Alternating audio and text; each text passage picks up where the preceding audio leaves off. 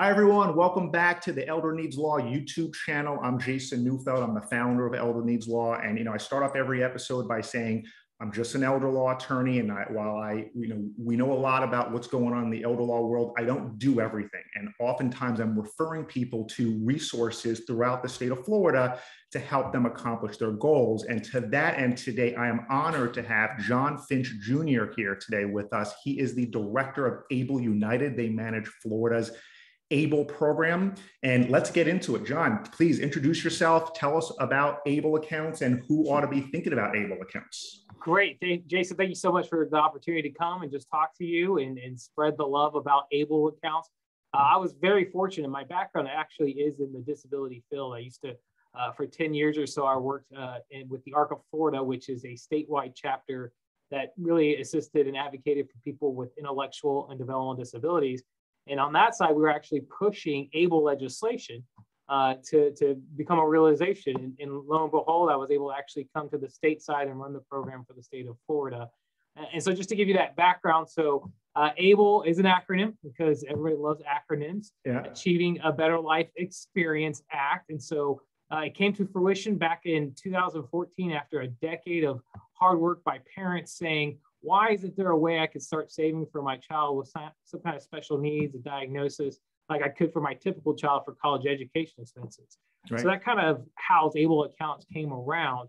Um, but with that, there's some rules that came along of who could qualify for an able account. It is an individual with a severe type of disability that occurred prior to age 26. Uh, and by severe, it's usually individuals that are receiving SSI benefits. Mm-hmm. Uh, it could be Social Security disability insurance benefits, either on their work history or, or a, a, parent's work history.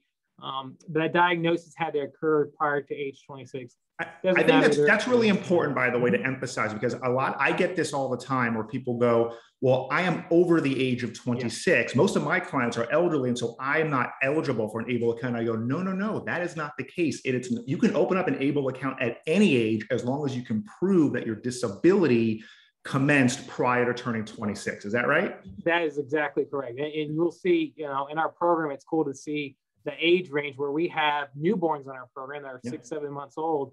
And I think our oldest uh, client is uh, 92. So just a vast variety of, of ages and disability types. So uh, I think people get pigeonholed where it has to be a specific type of disability, mm-hmm. uh, but it's pretty broad. So it could be uh, disabilities that people are born with, Down syndrome, uh, cerebral palsy could happen later in life. A lot of mental health type of diagnoses, as well as traumatic brain injury may occur in later life.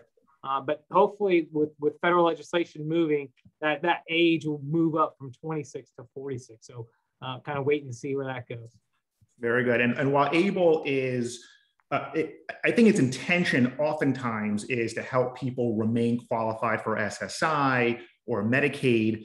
There is no specific financial requirement to opening up an ABLE account, right? So you don't have to actually be on one of those programs to open up and take advantage of ABLE's benefits. Yeah, that's correct. Because really, I mean, the, think the advantages of an ABLE account is kind of threefold. One, is to remain or keep your eligibility for qualified benefit programs like mm-hmm. uh, like you said medicaid ssi those are the big ones limit somebody to only $2000 resources an able account really at the end of the day is a savings and investment tool that doesn't count towards that limit. Mm-hmm. uh, but also is tax-free growth right? So the money can go in it. You get to choose do you want to invest it? Do you want to save it? We have a variety of options for individuals to choose from. Uh, and those funds can actually grow tax-free uh, and then being used whenever they need to for qualified expenses. Yeah, so we can think of it really like a, uh, an IRA account or a 401k account. It's not literally those things, but it has some similar advantages. Money goes in and it accumulates tax free. And uh, and what, what are the restrictions on that? When can people start taking that money out?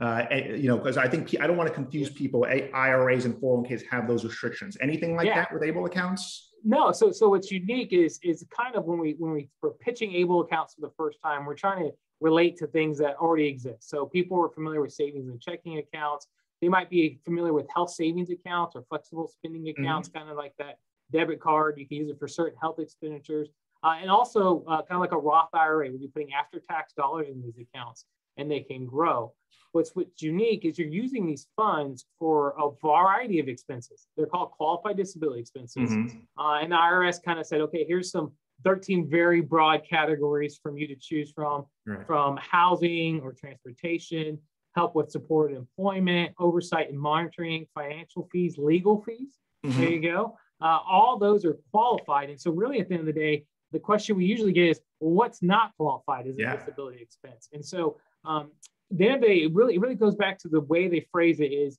as long as the expense is for the individual and helps improve or maintain their health, independence, or quality of life, then it's a qualified disability expense. So those can range from we know people who have cell phones who use it to help navigate their community, mm-hmm. makes them a little more, uh, you know, get out of their house a little bit, a little more uh, uh, independence. Right. So those are qualified expenses. We know people using it for grocery shopping, mm-hmm. uh, but we also hear people. Uh, I'm working with a couple right now that you know uh, they don't want to travel yet, but they're but they're saving for hopefully a cruise down the road. So okay, those things are, are all allowed, and they can be used. An able account can be used almost immediately after it's open. It's usually about 30 days to process the paperwork, but then after that, it's usually two to three days. You can get that money. Um, it, it's unique in that it's not a checking or savings account, so you do have to have a connected bank account. That's primarily how people get money out of the account.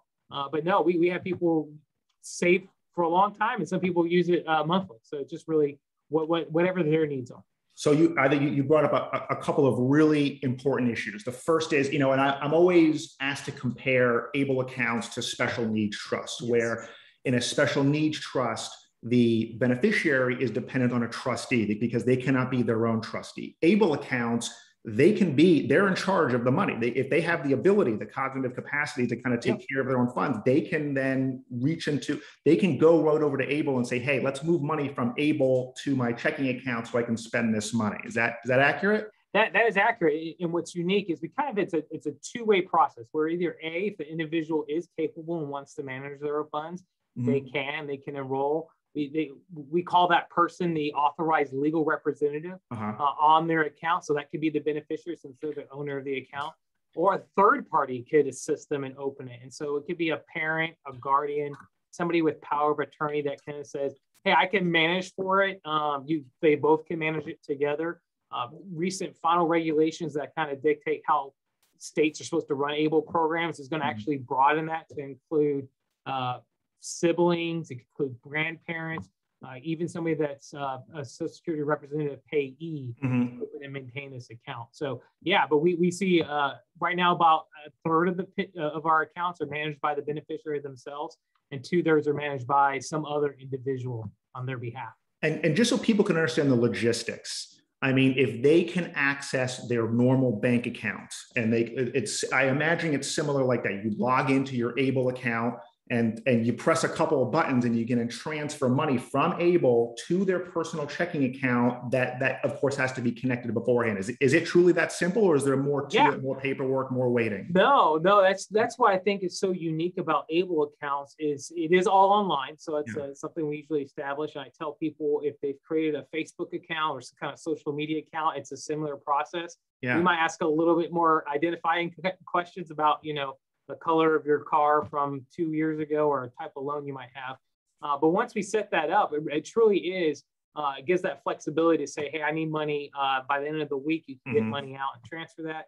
You can request checks to be sent to somebody. So maybe you're in a situation where, for example, housing is a qualified expense, but if right. you're on SSI right. and you retain that money past the end of the month, it would count towards that $2,000 resource limit. So we see some people saying, hey, I'll call up or uh, we're in the process of rolling out online check requests where you can go online and say, hey, just send it to my landlord directly. It doesn't touch my account and won't jeopardize those benefits. Yeah. And unlike a special needs trust, when a disbursement is made for things like rent and groceries, it results in that ISM, in kind support mm-hmm. and maintenance reductions. That is not the case with ABLE accounts. So whether the money, my, uh, to, if I can congeal it in my own head, whether the money is going into my client's personal bank account and then going to pay their rent or going right to the landlord, there's still an advantage to using an ABLE account versus a special needs trust because they don't get that reduction in SSI benefits.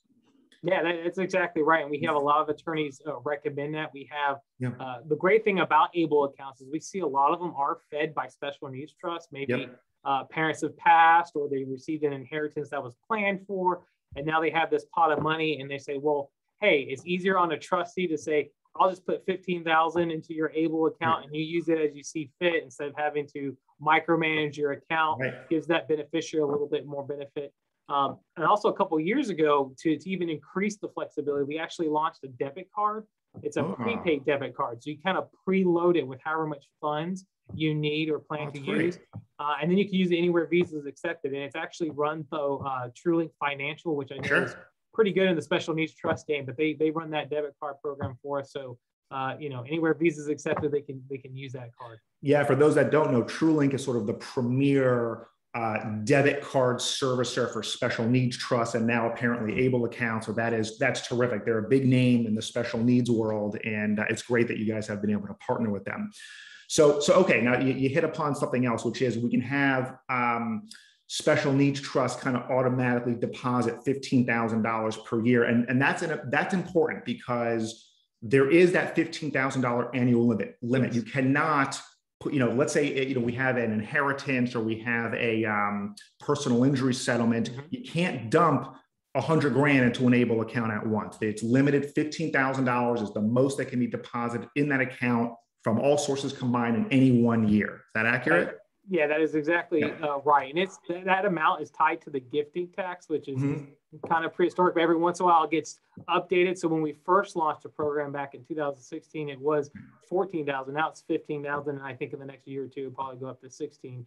Uh, but that is true. It's, it's 15,000 from all sources on an annual basis. If a beneficiary is working, so the person that owns that able account that has a disability, if they're working and not saving for retirement, they can contribute above that amount, but it's, mm-hmm. it's not a significant amount. But they kind of treat their able account as a retirement account. Uh, but yeah, that's that's one of the drawbacks. Now there is also an overall cap as well. Mm-hmm. Here in the the state of Florida, each state has rules on how that's set up. It's usually tied to that state's 529 college savings plan. Sure. Here in the state of Florida, it's 418,000. So you're hitting that max every year for 23 years, Right. Uh, you might you might hit that. Come back see me. We'll, we'll talk and see if we can get that that limit raised. Got it. Very good. So, so that four hundred eighteen thousand dollars. That's a Medicaid limit. My understanding is SSI has a lower limit of hundred thousand dollars. Is that correct? Right? Yeah, yeah, that's exactly right. So yeah. the the funding with Social Security is, as you probably know, Jason. There, mm-hmm. There's uh, some additional rules uh, right. Uh, when it comes to, to anytime there's money involved, and so.